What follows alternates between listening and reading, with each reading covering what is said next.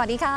ได้เวลาเซตราวอัพกับสุภวรรณโตนะคะ วันนี้ตลาดหุ้นไทยต้องบอกว่าพักความร้อนแรงลงค่ะ ดัชนีปรับตัวลดลงพักฐานนะคะ หลังจากที่ก่อนหน้านี้ปรับตัวเพิ่มขึ้นมาแรง มีแรงเทขายลดความเสี่ยงด้วย พรุ่งนี้หยุดทำการ 1 วันนะคะสำหรับตลาดหุ้นไทย ส่วนตลาดหุ้นเอเชียส่วนใหญ่ปรับตัวเพิ่มขึ้นนะคะ เดี๋ยวมาดูภาพรวมการลงทุนตลอดทั้งวันนี้กันหน่อยค่ะวันนี้ครึ่งวันครึ่งทางเราเห็นหุ้นไทยลงไปประมาณ 4 จุดนะคะ ระหว่างการซื้อขายลงไปลึกราวๆ 7 จุดค่ะ ปิดการซื้อขายวันนี้หุ้นไทย 1,450.75 จุดนะคะ ลดลงมา 5.24 จุด ท่ามกลางมูลค่าการซื้อขายวันนี้อาจจะเบาบางค่ะ 36,895.02 ล้านบาท ส่วนฝั่งของ MAI นะคะ วันนี้เราเห็นย่อตัวลงมาค่ะ ปิดการซื้อขายวันนี้ค่ะ MAI 432.31 จุด ลดลงมา 0.46 จุด มูลค่าการซื้อขาย 1,196.52 ล้านบาท ไปสแกนกันหน่อยนะคะสำหรับ 5 หลักทรัพย์ที่มีมูลค่าการซื้อขายมากที่สุดวันนี้ค่ะ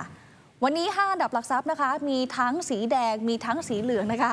ราคาถูกแรงเทขายออกมาค่ะปตทนะคะหุ้นในกลุ่มพลังงานราคาไม่เปลี่ยนแปลง วันนี้ปิดไป 33 บาท 50 สตางค์ค่ะ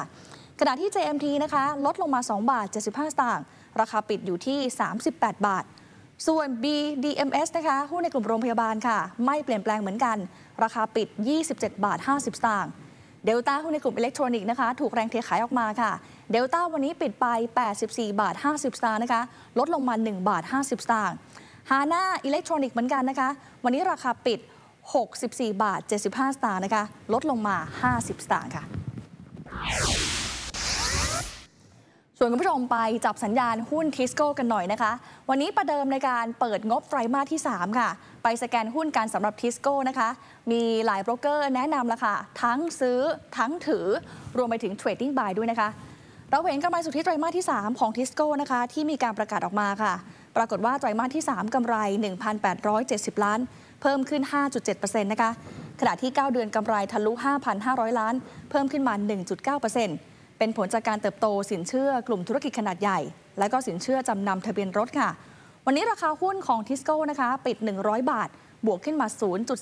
0.25%พาไปสแกนคำแนะนำกันหน่อยค่ะบลทรินิตี้นะคะทรินิตี้ระบุว่าไตรมาสที่ 3 ตัวเลขที่ออกมาใกล้เคียงคาดการเอาไว้นะคะ ทั้งปีดอกเบี้ยค่ะ ขึ้นอาจจะกดดันแต่กำไรยังโตค่ะ ประเมินกำไรปีนี้ 7,594 ล้าน โตขึ้นมา 5%ค่ะ คงราคาเป้าหมายไว้ 110 บาทนะคะ อิง price per book value 1.86 เท่า แม้ upside ราคาหุ้นไม่สูงมาก แต่ไปบวกกับ dividend yield นะคะ upside โดยรวมน่าสนใจ Trinity แนะนำให้ซื้อค่ะ ขณะที่บลดาโอประเทศไทยแนะนำให้ถือนะคะทิสโก้มีการ roll over เป้าหมายปีหน้า 108 บาทค่ะ บอกด้วยนะคะว่าราคาหุ้นเพิ่มขึ้นมา 6%ในช่วง 3 เดือนที่ผ่านมา เพราะมีการประกาศจ่ายเงินปันผลค่ะ แล้วก็มีการเปลี่ยนนโยบายปันผลเป็นปีละ 2 ครั้ง ประเมินทิสโก้จ่ายปันผลทั้งปีนะคะ สูงระดับ 8%ราวๆ 7 บาท 80 สตางค์ต่อหุ้นค่ะ ขณะที่บลกรุงศรีพัฒนสินนะคะ มีมุมมองมีมุมมอง neutral นะคะสำหรับหุ้นทิสโก้ค่ะ ให้แนะนำ trading buy ราคาเป้าหมาย 110 บาทค่ะ ตามกันต่อใน Stock Update นะคะสำหรับ OTO ค่ะ One to One Contact นะคะ ตลาดหุ้น จี้ให้ทาง O2O นั้นชี้แจงงบงวด 6 เดือนค่ะ หลังผู้สอบบัญชีนะคะพบว่าบริษัทนั้นจ่ายเงินมัดจำค่าซื้อที่ดิน ก่อนที่คณะกรรมการบริษัทอนุมัติ ให้ทำสัญญาซื้อขายที่ดินมูลค่าถึง 140 ล้าน นอกจากนี้ค่ะ บริษัทมีขาดทุนสุทธิ 96 ล้านบาทนะคะ ส่วนใหญ่มาจากขาดทุนเงินลงทุนในตราสารทุน ของบริษัททะเบียน 134 ล้านบาทค่ะ แล้วก็ยังมีรายการเงินให้กู้ยืมอีก 100 ล้านนะคะ มีผลขาดทุนด้วยนะคะจากการดำเนินงานในบริษัทนั้น ซึ่งให้ชี้แจงเข้ามาภายใน 26 ตุลาคมนี้ค่ะ ขอให้นักลงทุนนะคะ ติดตามความเคลื่อนไหวหุ้น OTO อย่างใกล้ชิดด้วย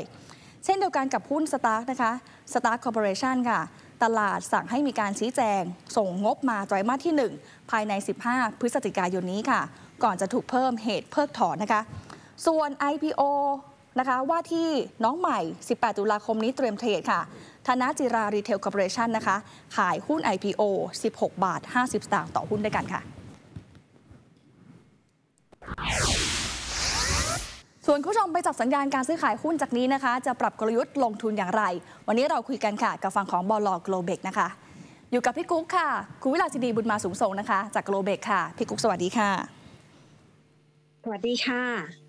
ให้พี่กุ๊กช่วยประเมินทิศทางหุ้นไทยจากนี้หน่อยค่ะ วันนี้เราเห็นหุ้นไทยพักฐานนะคะ วอลลุ่มไม่ค่อยแน่นด้วยประเมินจากนี้ยังไงดีคะ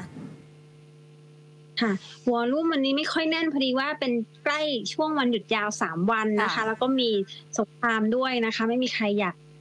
เสี่ยงในการถือหุ้นข้ามนะคะ แต่ว่าในการที่ปรับลดลงเนี่ยพักฐานลงมาเนี่ย ไม่หลุดแนวรับสำคัญที่ระดับ1445นะคะค่ะทำให้มีโอกาส รีบาวต่อเนื่องนะคะ เมื่อเปิดทำการในวันจันทร์นะคะ แล้วก็เอ่อ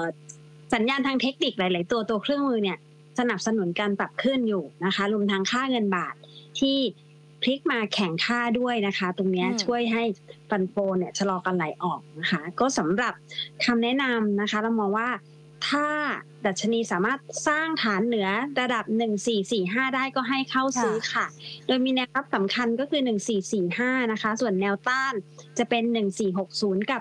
1465 ค่ะ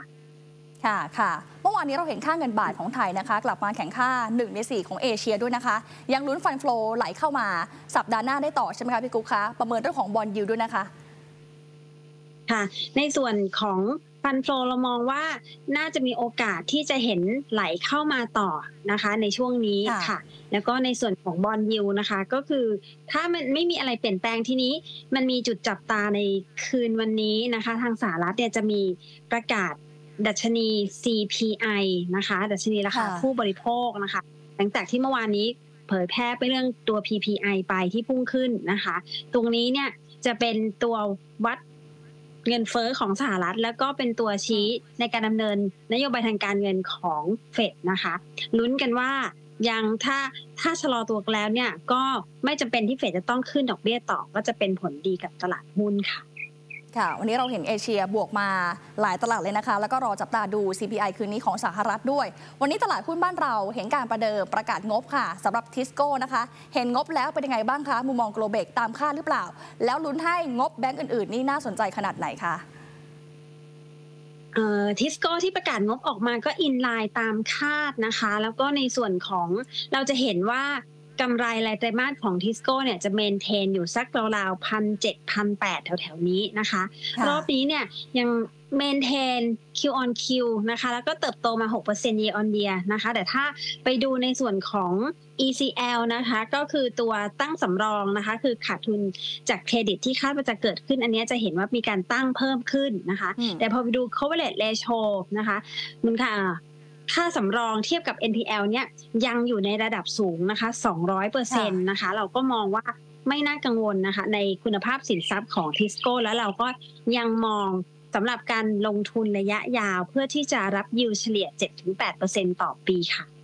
อืมยิวสูงสำหรับทิสโก้นะคะ เห็นทิสโก้ประกาศออกมาเป็นตัวแรกในกลุ่มแบงก์กลุ่มแบงก์อื่นๆล่ะคะมุมมองโกลเบกแนะนำยังไงดีคะในกลุ่มแบงก์อื่น ๆนะคะ ก็จะมี หลากหลายนะคะ ซึ่งในที่เราไปดูในคอนเซนแซสที่ไปรวบรวมมานะคะ จะมี BBL เนี่ยที่จะเติบโตสูง year on year นะคะถึง 40%ค่ะ รองลงมาเติบโตสูง year on year ก็จะมี TTB เติบโต 18% year on year แล้วก็มี KTB เอ่อขอโทษค่ะเมื่อกี้ TTB นะคะ แล้วก็ตามมาด้วย KTB ที่เติบโต 16% year on year ค่ะ เราก็อืมมีมุมมองสำหรับ หุ้นแบงก์ตัวใหญ่นะคะ ที่เรามองว่าน่าจะสนใจเข้าไปเก็บค่ะถ้าหากว่าราคาย่อลงนะคะ BBL KTB KBank SCB ค่ะ แล้วก็ยังไม่ลืม Tisco ที่จะถือเอาไว้สำหรับกินเงินปันผลนะคะ ก็มีคนค่ะบ่นค่ะราคาไม่หลุดร้อยเลย อยากเข้าไปเก็บวันนี้เก็บปิดไม่ร้ได้อยค่ะนะคะค่ะทายตอนที่90 ที่กระพริบแป๊บเดียวซื้อไม่ทันก็มีมีลูกค้าบ่นค่ะ ค่ะค่ะได้ค่ะตรวจสอบเท่านี้ก่อนนะคะ เดี๋ยวจับสัญญาณการเคลื่อนไหวหุ้นสัปดาห์หน้าพร้อมกัน วันนี้ขอบพระคุณพี่กุ๊กค่ะ สวัสดีค่ะนี่นะคะ มุมมองจากกูรูของเราวันนี้บลโกลเบล็กละค่ะฉายภาพการลงทุนสัปดาห์หน้า พรุ่งนี้ตลาดหุ้นไทยปิด 1 วันนะคะ กลับมาพบกันวันจันทร์เปิดทำการตามปกติค่ะ นี่เป็นทั้งหมดของ SET Roundup ประจำวันนี้ด้วยนะคะ เราจะลากันไปด้วย stock pick หุ้นเด่นแนะนำจากโบรกเกอร์ สุภวรรณโตวันนี้ไปแล้วค่ะ ขอให้ทุกท่านโชคดีกับการลงทุน สวัสดีค่ะ